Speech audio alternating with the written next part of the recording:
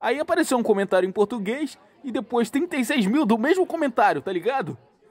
Como que é os É comentários? diferente em cada foto. Nenhum de nós. en- Dublagem Cortes.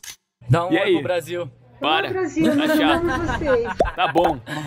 Chega. Como que é esse, esse personagem favorito dos fãs? Tipo, eu sou brasileiro e eu sei Eu que você saquei. tem problemas no Instagram. Cara, eu simplesmente entreguei meu Instagram pra eles. Eu falei, vai lá, pega, é de vocês. O que que houve? Cara, eu não sei. Nenhum de nós sabe. Eu falei com todo o elenco, mas ninguém sabe e ninguém entende. É tudo muito estranho, é tudo muito confuso. O que aconteceu?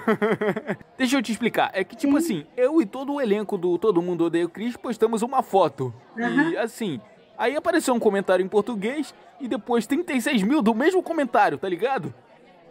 E foi isso que aconteceu. Nós não sabemos o que é. Achamos que é um jogo ou algo do tipo. Como que é os É comentários? diferente em cada foto. Nenhum de nós entende, cara. E nós tentamos perguntar o que era e ainda não parou, Interessante que cara. aconteça apenas em um lugar. Apenas no Esse é o Instagram. motivo dele ser o favorito dos Cara, fãs. aparentemente é ótimo, né? Os brasileiros são tudo louco na Eu internet. não sei. Olha, pra vocês Eu terem ideia, eu tenho uma foto que tem 125 mil comentários em português. Dizem que você é. E o pior, todos falam a mesma coisa. Mas ainda assim, eu não sei o que é. Mas ótimo. Pelo menos eu espero que Você- seja algo positivo. Vo- Você tem que ir pro Brasil, Eu admito, cara. eu tenho medo. Se é assim no Instagram, como vai ser na vida real, cara? Eu sei lá, como é que eu vou saber, cara? Espero que sim, né? Tudo isso é por causa do Chris.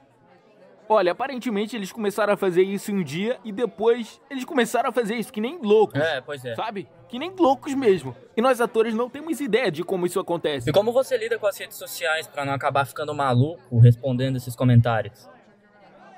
Porque, tipo, da mesma maneira que tem amor, também tem os haters, Olha, né? eu acredito que eu não posso ficar bravo com uma pessoa que eu nem conheço, sabe? No meu pensamento, a opinião dessa pessoa não tem valor.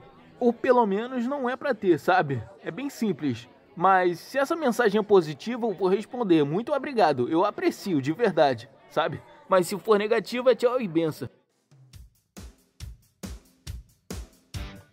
E aí galera, gostaram desse vídeo? Então se inscreva no canal, ative o sininho de notificação pro YouTube entender que você realmente quer receber nossos conteúdos. Clique no gostei e assim você ajuda muito o nosso canal a crescer. E é claro, comente o que você achou do nosso vídeo, deixe suas opiniões e sugestões pra gente. Valeu!